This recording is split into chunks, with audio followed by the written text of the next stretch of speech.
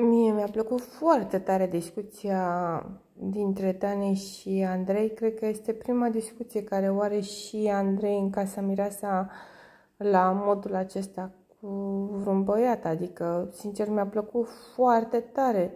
Și Dani a spus cam ce știam și noi și ce am fi vrut și noi să-i spunem lui Andrei de atâta timp. Nu am înțeles de ce s-a deranjat Simona de spusele lui Dani, pentru că, sincer, chiar avea dreptate în tot ce a spus, nu a exagerat cu nimic, nu l-a influențat uh, într-un mod negativ uh, cu nimic, ba din potrivă, l-a rugat să caște ochii și gen uh, să spună atunci când nu-i convine, să spună care este problema, cumva să-și rezolve lucrurile. Eu, sincer, mie mi s-a părut cea mai ok discuție de până acum între băieți.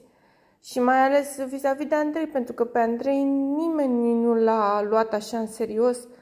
Sau, ați văzut ce îi spune, ești și tu bărbat, simți și tu, ai și tu sentimente, trebuie să construiești cu cineva cu care ai putea să mergi mai departe, care te-ar iubi cu adevărat, să construiești împreună cu el o relație de iubire, nu el să te construiască pe tine.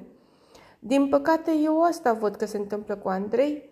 Simona cumva îl face la psihic în perioada aceasta și îl modelează pe Andrei așa cum dorește ea.